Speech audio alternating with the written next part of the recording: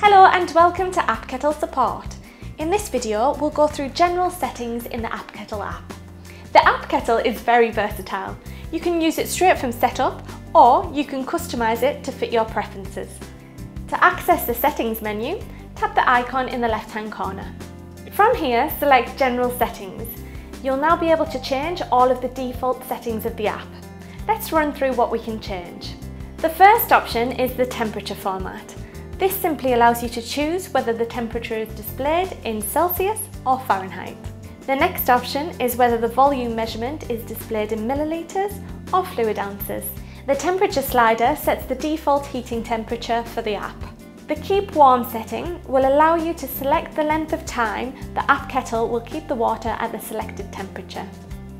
Cup capacity allows you to set the default size for your mugs. Brew timer delay allows you to change the amount of time between taking your kettle off the base and the brew timer starting.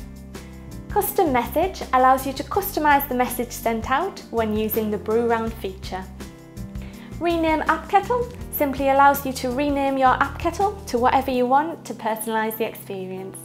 In the next video, we'll go through the rest of the features in the settings menu.